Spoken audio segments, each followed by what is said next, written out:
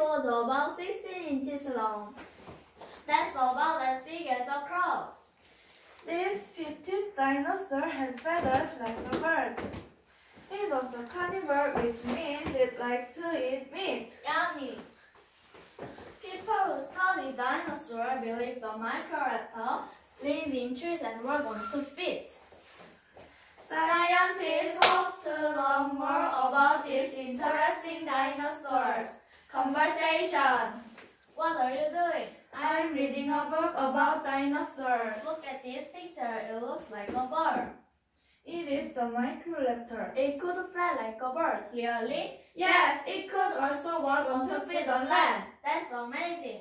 Do you know what it like to eat? Well, I have no idea. It was the carnivore it liked to eat meat. Wow, The Microraptor was one of the smallest dinosaurs. Interesting. I wish I could have one as a pet. Are you serious? The end. Thank you for listening.